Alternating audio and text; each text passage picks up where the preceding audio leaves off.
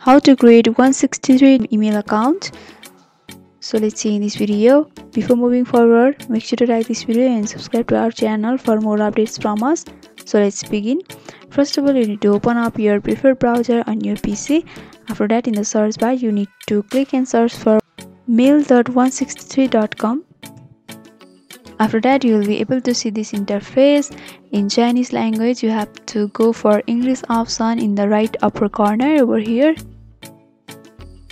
After going for that you'll be able to see some of the options in english. So here you can see the text boxes where you have to enter your email and password also but they're all in chinese language.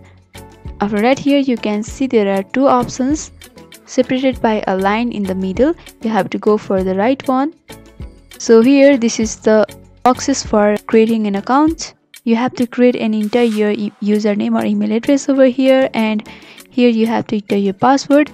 And from over there you can go for sign up option over here and you'll be able to create an account. So by following this simple step you can create account in 163.com so hope this video was helpful. Don't forget to like comment share and subscribe to our channel for more videos like this. Thanks for watching